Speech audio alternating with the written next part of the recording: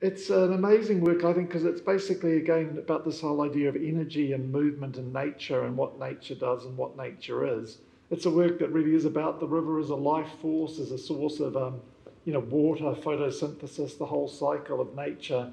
But also, it's a beautiful work because I think it celebrates just movement, the sort of the, the, the, the power and the energy and the, the joy and, and a kind of whiplash like movement across the walls.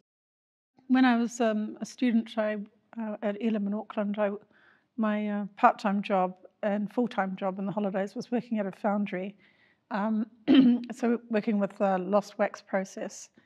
And so I've, i kind of worked with such a lot um, over the years, and these are all um, lancewood leaves, horoeka, and I was given permission by Otari Wilton Bush Reserve in Wellington to, to pick the leaves. So I could take a ladder and we could climb the trees and actually pick the leaves uh, and we weren't going to get into trouble. And so, and then molds were made of the leaves and then wax is taken and they were cast. Um, they're all the works. They're all hand painted um, with oil paint, and um, although you wouldn't know they're bronze, there is kind of a weight to the material, to the to each leaf, um, and then I weld uh, pins on the base, so when they're on the wall, they're they're um, holes are drilled so the leaves actually sit out and cast a shadow. So depending on where uh, it's lit, you can create afternoon, late afternoon shadows or whatever. Um, so there's kind of a three-dimensionality to it. And if, the, if it's um, subtly lit in a particular way, it becomes quite snake-like and the, the leaf uh, line becomes quite three-dimensional feeling, just depending on, on the shadow. So it can actually change the dynamic of it quite a bit. And so with this work, I feel it um, has quite an optimism about it and celebratory and um, it's just, uh, you know, uh, is it, is it something in the air or is it on the land? And um, I quite like that ambiguity as well. There's a beautiful thing that goes on in this work where you use obviously the smaller leaves on the, on the plane of the wall and the bigger leaves.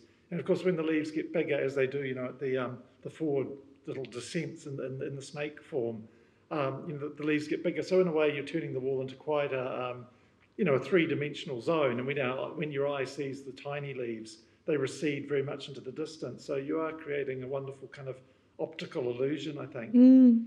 There needs to be like, for me, I think, sort of a an authenticity in a way, in terms of how you say, you know, like we are viewing from a distance and close up. So I, I'm aware that I'm, I've got to be get it right at all on all levels in a way, just the way I work, and um, like and behind as well. So I have people come go and say, "I really love your edges, Liz," and they're looking around the back of the work, and so there is that kind of thing that um, it needs to be right. And so, in terms of the spacing of the leaves, for it to have that kind of tension and release, um, so all the spacing has to be worked out really, really carefully in terms of of you know um, kind of mathematically, kind of loose mathematics, um, for it to work. You know, like so that creating a void, the work is in a void, and so it can be read as landscape. So it has that kind of photographic truth in a way that um,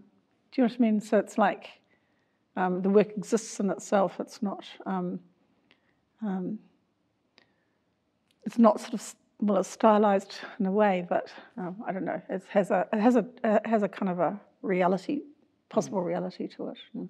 I mean, all your work does seem to have a kind of really organic feel. This thing that when you move around, it'll look different. It'll feel different. It'll have a different kind of energy to it, depending on how close you are you know, if you're a long way away, this just becomes a big long line with on a wall. But when you're very close, you see the intricacies of the leaves, and it becomes a different thing. And if you move mm. to the side, you see the shadows a lot. In a way, it's wanting to work the way nature works, isn't it? It's wanting to be changing and evolving, and um, with the changes of light in a room.